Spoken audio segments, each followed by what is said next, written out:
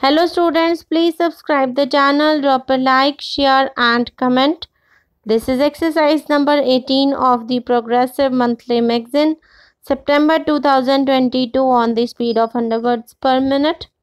Start.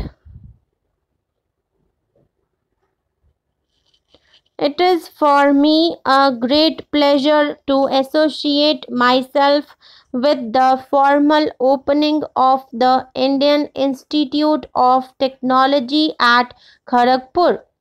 When I assumed charge of the Ministry of Education in 1947, I felt that of the many tasks of educational reconstruction that faced the country, two were of paramount urgency.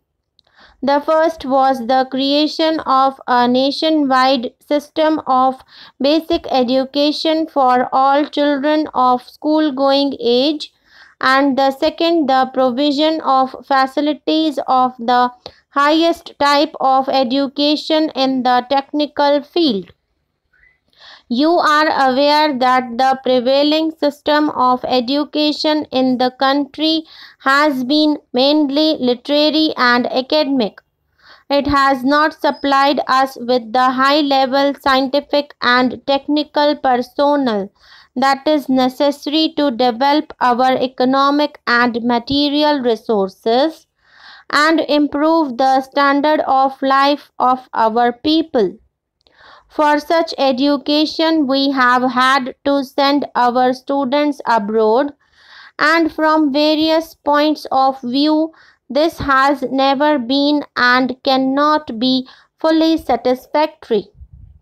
One of the first decisions I took on assuming charge was that we must so improve the facilities for higher technical education in the country that we could ourselves meet most of our needs. The large number of our young men who had been going abroad for higher training could have received such training in the country itself. Indeed, I looked and still look forward to the day when the facilities for technical education in India will be of such a level that people from abroad will come to India for higher scientific and technical training. The government of India has already before them a scheme for the establishment of four institutions of the standard of the MIT. I felt that whatever the financial and other obstacles, we must go ahead with the implementation of that scheme.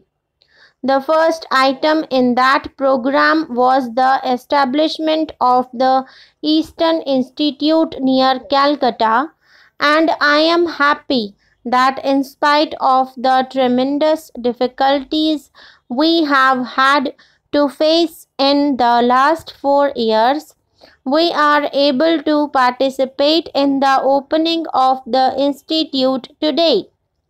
I would here like to place on record my deep appreciation of the generous help we have received from the government of West Bengal who have given to the institute free of cost a magnificent plot of some 1200 acres and this building.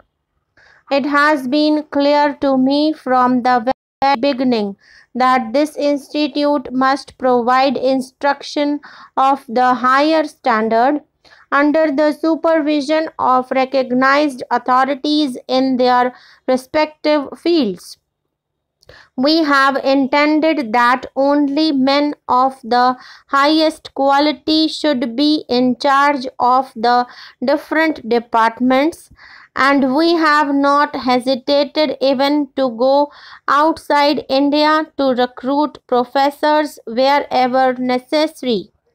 We have also felt that there is no point in providing specialized courses merely because such courses exist elsewhere but those courses should be provided only if a clear need for their provision is felt.